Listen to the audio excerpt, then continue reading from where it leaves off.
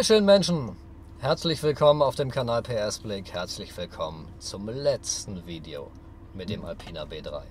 Warum zum letzten? Warum behalte ich dieses tolle Auto nicht? Dieses seltene Auto mit dem Flair des Besonderen, mit diesem tollen, klangstarken, drehfreudigen 3,3 Liter Reihen Sechszylinder, der mit seiner Charakteristik, mit seiner Drehfreude, mit seinem Sound immer wieder für Gänsehaut sorgt. Warum behalte ich dieses Auto nicht?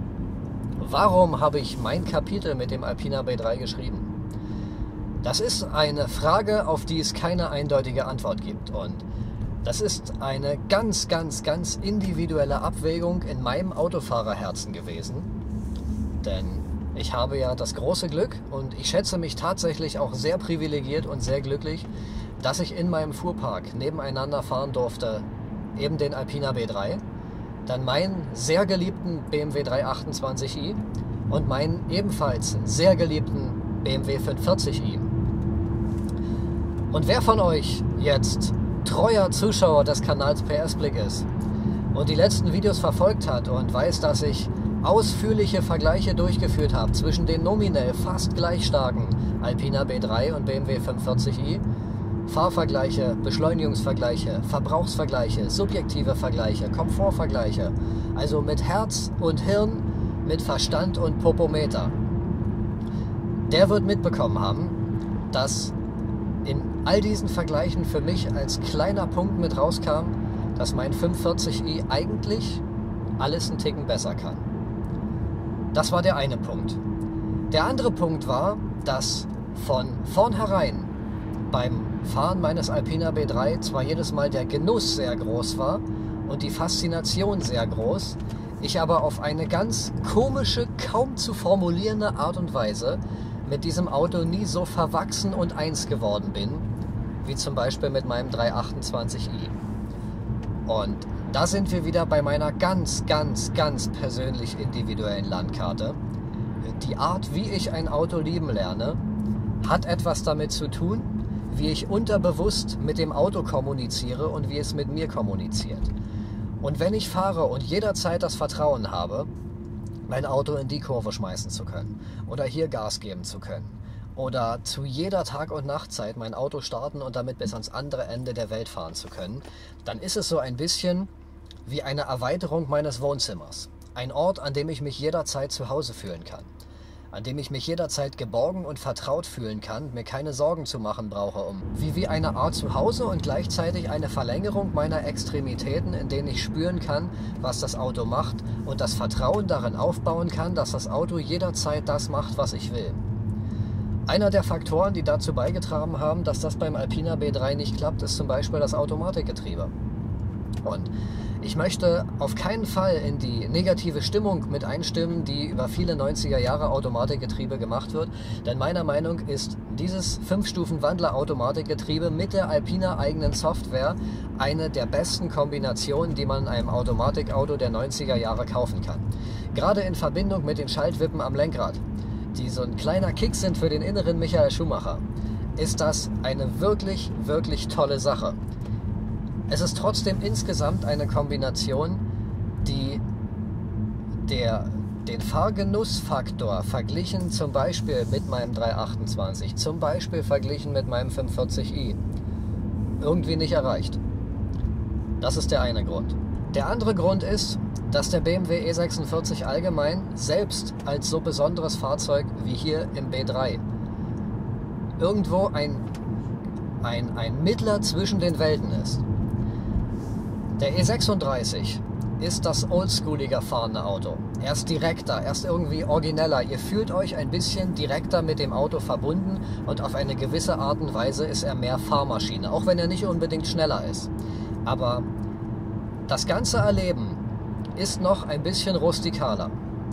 Der Nachfolger E90 wiederum ist deutlich dynamischer, deutlich agiler. Eine fantastische Lenkung. Er hängt gerade mit den Saugrohr einspritzenden Motoren, den letzten ihrer Art, hängt er noch besser am Gas. Der E46 ist ein Zwischending. Er ist derjenige, der alles gut kann und irgendwie nichts perfekt.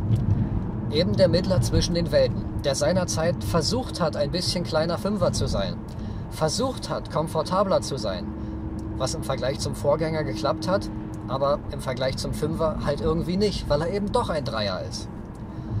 Dieser Kompromiss von einem Hersteller, der wirklich, wirklich gute Kompromisse macht, der Autos baut, die gleichzeitig dynamisch und komfortabel sein können, der ist auf hohem Niveau nicht ganz so gut gelungen wie bei anderen Autos. Und nach meinem persönlichen Erleben eben auch bei anderen Autos in meinem Fuhrpark. Und wenn ich die Wahl habe, mein 328i zu fahren, mein 540i zu fahren, mein Alpina B3 zu fahren, so habe ich über viele Tage und Wochen hinweg festgestellt, dass die Liebe beim Fahren, die Vorfreude, der Genuss, das Fahrerleben, das Ankommen zu Hause in einem zweiten Wohnzimmer beim Alpina B3 am kleinsten ausfällt. Es ist Meckern auf ganz, ganz hohem Niveau. Es ist eine Luxussituation, diese Vergleiche haben zu können und diese Abwägung haben zu können. Und es hat nichts mit meiner persönlichen Sympathie für meinen Alpina B3 zu tun und ich bin un unfassbar dankbar, dass ich diese Geschichte, dieses Kapitel mit dem Auto schreiben durfte und jetzt zu Ende schreiben darf. Und ein riesen, riesen, riesengroßes Dankeschön geht an meinen guten Freund Matthias raus, der den Tipp gegeben hat, dass ich mir dieses Auto kaufe. Es ist Du hast dafür gesorgt, dass ich zwei Sommer lang jedes Mal beim B3-Fahren Genuss empfinde und hast meine Welt um unfassbar schöne Momente und unfassbar schöne Erinnerungen mit diesem Auto bereichert. Aber wie sagt man so schön, alles hat ein Ende, nur die Wurst hat zwei. Und ähm, ich habe das Gefühl in meinem Herzen, und ich habe mir das oft und lange und reiflich überlegt, ich habe das Gefühl, dass ich meine Geschichte mit dem Alpina B3 geschrieben habe. Und dass es irgendwie nicht fair wäre, ihn jetzt weiter zu behalten. Warum wäre es fair, das Auto zu behalten, wenn ich nicht diese Liebe beim Fahren empfinde, wie bei anderen Autos? Wäre doch irgendwie schade. Ich möchte, dass der Alpina in Hände kommt, die genau diese Liebe empfinden. Ich möchte, dass der Alpina zu jemandem kommt, der die gleichen Schmetterlinge im Bauch hat, die gleiche Liebe empfindet, jedes Mal, wenn er das Auto aufschließt, wie ich sie zum Beispiel bei meinem Honda CX empfinde. Deswegen ist mir das auch wurscht, ob ich beim Verkauf 100 Mark mehr oder weniger bekomme. Solange ich merke, da ist jemand, der hat genau diese Liebe für das Auto. Ich wünsche dem Auto das, weil es ein tolles Auto ist, weil es toll fährt. Trotz der Sachen, die ich zu meckern habe, denn wie gesagt, das ist alles auf sehr, sehr, sehr hohem Niveau. Und so lautet mein Fazit zum Alpina B3. Hier fährt immer noch ein fantastischer Kompromiss zwischen Dynamik und Komfort. Hier fährt gerade mit der Wandlerautomatik ein Auto, was auf der Autobahn zu Hause ist. Oder auf kurvigen Landstraßen. Was wirklich viel Spaß machen kann, was toll aussieht und toll klingt. Womit meine Geschichte aber abgeschlossen ist. Deshalb werde ich bei Gelegenheit sagen, goodbye, es war toll und vielen Dank. Und ich genieße jetzt noch die letzten oder vorletzten Kilometer oder vielleicht gönne ich mir auch einfach nochmal einen Ausflug mit meinem B3. Solange wie ich es noch kann, weil es ja immer noch schön ist. Weil es immer noch Spaß macht, in den manuellen Modus zu schalten, runterzuschalten, Gas zu geben. Weil es jedes Mal immer noch das Grinsen aufs Gesicht treibt. Klar. Aber ich werde auch damit leben können, wenn der Alpina in jene wertschätzenden Hände geht die ich mir für ihn vorstelle und die er sich verdient hat. Und wenn das nicht heute und morgen ist, sondern erst ein paar Wochen weiter, das ist okay für mich. Ich werde ihn definitiv nicht an den erstbesten Heinz abgeben, der fragt, was letzte Preis, weil das hat er nicht verdient. Schreibt mal drunter, ob ihr so eine ähnliche Geschichte schon mal gehabt habt mit einem Auto, womit ihr tolle Momente hattet und dann aber irgendwann das Gefühl, okay, das war's jetzt. Das Kapitel ist geschrieben. Es ist ein tolles Kapitel. Es ist eins, was man immer wieder gern mal durchblättert. Aber der Buchdeckel senkt sich und das Buch wird geschlossen.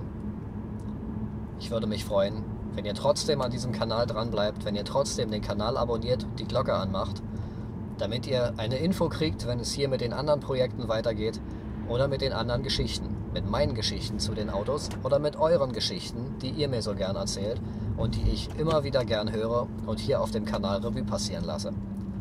Bis dahin wünsche ich euch allzeit gute Fahrt. Danke fürs Zuschauen in diesem eher ernsten Video. Ich hoffe, wir sehen uns bald wieder. Ciao.